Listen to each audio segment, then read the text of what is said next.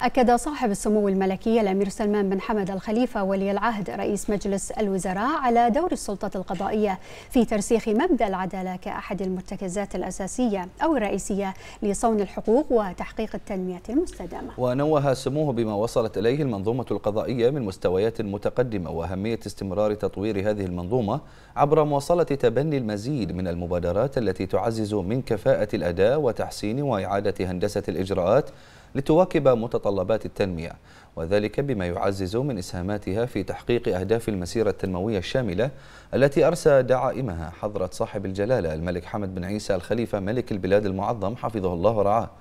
جاء ذلك لدى لقاء سموه في قصر الرفاع اليوم مع الشيخ خالد بن علي الخليفة نائب رئيس المجلس الأعلى للقضاء رئيس محكمة التمييز بحضور معالي الشيخ سلمان بن خليفة الخليفة وزير المالية والاقتصاد الوطني.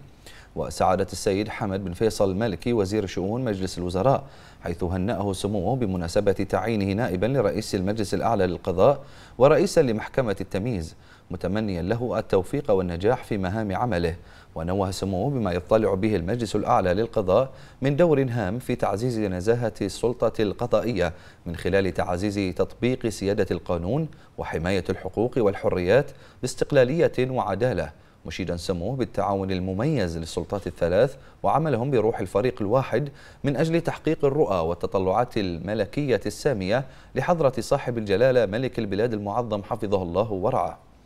مؤكدا سموه أهمية مواصلة التعاون والتنسيق بين السلطات التنفيذية والتشريعية والقضائية للبناء على ما تحقق من مستويات متقدمة على مختلف الأصعدة بما ينعكس أثره على رفعة ونماء الوطن والمواطن. من جانبه أعرب معالي الشيخ خالد بن علي الخليفة عن شكره وتقديره لصاحب السمو الملكي ولي العهد رئيس مجلس الوزراء حفظه الله على ما يوليه السمو من حرص واهتمام بالسلطة القضائية بما يسهم في تعزيز مسارات التنمية في مملكة البحرين.